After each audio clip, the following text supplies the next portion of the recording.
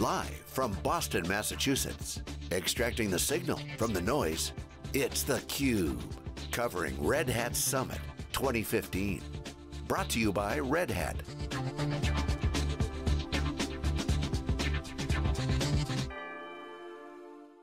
Hi everyone, I'm Sam Kahane with Stu Miniman. You're watching theCUBE. We're here at the Hynes Convention Center at Red Hat Summit. Uh, we're going to wrap it up for you. This is the end of the spring tour, and it has been a fantastic conference so far. Great energy in this place. Uh, they're red hat tattoos. They're giving out clam chowder in Boston, our favorite city. Giving away GoPros. We had some great interviews. Jim Whitehurst came on. Stu, how many years have you been here? So it's my second year at the show. Sam, did you win the GoPro? I entered four raffles. They're not all over yet, but uh, so far no GoPro. All right. Well, it, it is my second year at the show, and I really like this show. First of all, uh, you know we got great guests on the cube. Mm-hmm. So first of all, the executive team, very open as you would expect with Red Hat.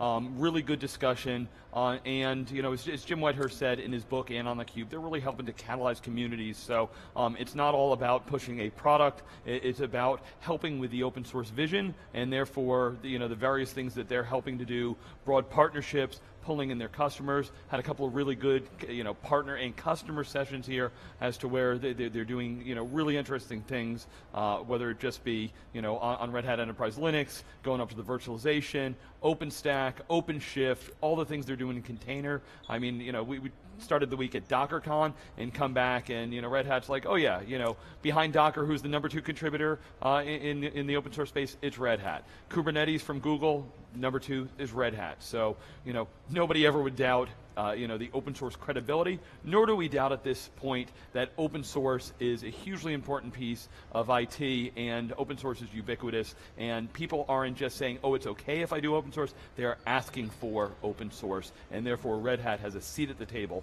uh, for lots of discussions. Great, Stu. I couldn't agree with you more. And you know, like you said, we had so many great guests on. If you were going to pick out a couple must-watch, you know, interviews for our guests or for yourself to rewatch, who would you say? Yeah, so you know it, it, it's a little easy for me sometimes because I say I want to start with the user case studies because that's the best way to understand how this technology works and how it can transform our business. So Dietmar uh, from uh, Amadeus uh, was a great segment yesterday. Um, really, the, the travel industry is one that is you know mission critical, uh, that has to help a lot of environments gone through a ton of changes you know over the last couple of decades, and uh, they are you know an early you know really uh, lighthouse account for OpenShift.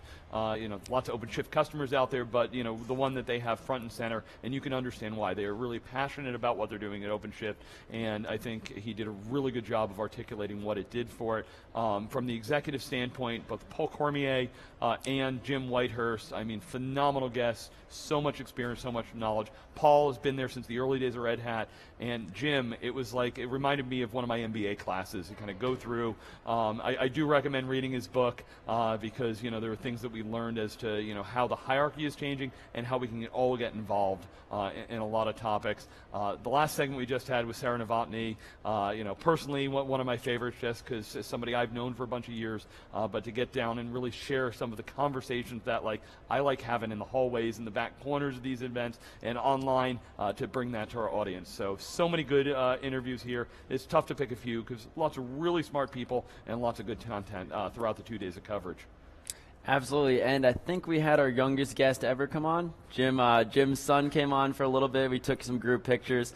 So that was always fun as well. Yeah, you know, it, it, really highlights, you know, uh, Jim, Jim Whitehurst, CEO, had, had his son here, um, and it's about culture. You know, Red Hat, one of their differentiations out there is the culture of the company. Uh, they say that, you know, culture will conquer all, um, and, you know, how does that drive, you know, you know, natively innovation? How does that keep them from being disrupted? Um, because we know that the, the pace of change, uh, you know, is happening so fast. Uh, there's a great line from Doug Balog in his keynote uh, this morning, said, you know, if uh, you're afraid of change, you know, you probably don't want to be in the IT industry because, uh, as, as, we all know, the only thing that's constant in IT is the, the rapid pace of change. Absolutely. And speaking of change, Stu, so you've been coming to this event for a long time. How has the actual event changed? What was the topic like last year? How has it shifted? What do you expect in the future? So, uh, Sam, actually, this is one one event that uh, you know it's, it's only been two years for me, but I've tracked Red Hat now. You know, I, I was a partner with Red Hat, you know, 15 years ago, um, and in some ways, a lot of things change, but in a lot of ways, they don't change all that fast. Jim Whitehurst actually said, um, and the reason that is, is because they're not the ones just necessarily coming up with an idea. They're looking for what the users and the communities get things started, and then they're getting heavily involved. Um, so, you know, Red Hat comes and says, oh, yeah, this container thing, it's not like this caught them by surprise. LXC's been around for, I think, almost a decade now. Um, they got involved very early. Uh, they were there. Uh, it was great to hear, you know, Red Hat and Microsoft got together to help get Docker and CoreOS to, uh, to get OCP, the Open Compute Project, uh, not, I'm sorry, not, not Open Compute, Open Container Project, too many OCPs, uh, you know, going. Uh, so uh, in, in many ways, you know, there are some shows that are always like, oh, you know, we got 5,000 more people and we're growing this much. From a revenue standpoint, Red Hat is growing. Dave Vellante did a real good job breaking down, uh, you know, if company, their, their core product line's growing, I think it's about 12 to 14% year over year. That's phenomenal growth. If I look at, you know, the server industry, the storage industry, the networking industry, you know, low single digits is a good growth company, and Red Hat is, is, is still growing at a, at a tight rate at a, at a good pace. Their newer areas are growing more 50, 40 to 50 percent. Obviously, opportunities in cloud, uh, opportunities in uh, you know modern applications in, in the developers uh, world, uh, and you know Red Hat being a public company is really the poster child uh, for so much of you know this open source adoption. Um, I'm real interested over the next couple of years. I don't necessarily expect, you know, more billion-dollar open source companies. I do expect lots of companies that will be built on open source, leveraging open source, put the products in, and that leaves Red Hat with lots of opportunity to, to, to you know, get into a lot of environments. Right, and Jim Whitehurst was saying his big goal right now, like you said, is just gain that market share. You know, take away from the competition and keep growing. So, Stu, it's been a crazy spring tour you know, finally we'll have a little break, a little time to rest. Uh, you, could you summarize what, what we've done so far this year and then tell us what you're excited for in the future? All What's right, so next? over the next hour, we're going to go through all of the various shows we did. Boy, Sam, we, we've been at so many shows. We have. Um, I, I, tell this spring, uh, really appreciate everybody that's been watching this program. Uh, you know, I, I, can't even think of where this show, uh, you know, started. I had a checklist on my whiteboard just for a segment uh, of the like hyperconvergent stuff that I cover in that space. Not to mention it's cloud, big data and infrastructure, Wikibon research, everything going on in the cube. So many shows. Um, you know, you know, I, I, need some time to just reflect on it because, uh, you know, we I think it's been like 19 or 20 live events we've done. We've been averaging two events a week. Actually, I had three this week. Uh, so, you know, real shout out to the whole team as to you know so many moving pieces you know, we love going out to these events, extracting the signal from the noise, uh, and bringing all of this takes a lot of work behind the scenes. Uh, so, you know, maybe Sam, uh, you know, the wrap up at this point, you know, thanks Sam for you. You know, you, are new to the team. You know, thanks, Stu. Any any quick, uh, you know, takes. You know, you joined us at the beginning of this spring tour. You know, from the you know new new view. What, what what's your take so far? It's it's exciting. You know, there's so much energy at these events, and you come in, you get the smartest people in the room, the executives interview them, and it's a community. You know, it's that's what I realized. It's such a small IT community, and everyone's so connected. It's nice to you know have Cube alumni as well who keep coming on and develop those relationships uh, it's been great, and we have a great team that's fun to work with. Yeah, I, I, tell you, and it is, you know, we are very much committed to the community here. If you go to crowdchat.net slash RH Summit, you see all the chats that we have here. When we're going to events, if there's people that we should have on, hit us up and let us know. The, the Cube has a Twitter account. I'm Stu, Dave Vellante, Furrier, the whole team.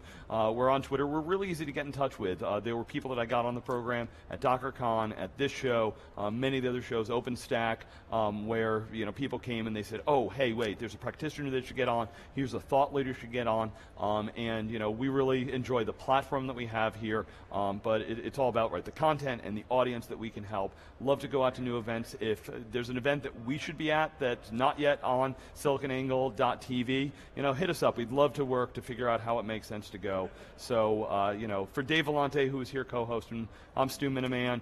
Want to thank, you know, Luke, Sam, Andy, Brendan back at the ranch, uh, Bert and John been hitting up on the uh, the crowd chat. The rest of the team that have been uh, making everything happen, you know, throughout the spring tour and here. And uh, Sam, bring us on home. Thank you. And I also want to give a shout out to Andy. Uh, it's his birthday today. Happy 29th, Andy. Luke, thanks for everything you're doing. Brendan and Matt Cowling, uh, we couldn't do this without you. And a big shout out to Red Hat. Thank you so much for having us. Uh, it's been a lot of fun and great content here in the Cube. Yeah, look forward to San Francisco next year. They're going to be Absolutely. back. Uh, it's bi-coastal show. They do Boston one year, San Francisco the next year. So it's the end of June, right below, before July 4th. Next year, going to be back in Moscone, uh, and uh, we'd love to be there. Can't wait. So, Cube Nation, thank you for watching. We'll see you soon.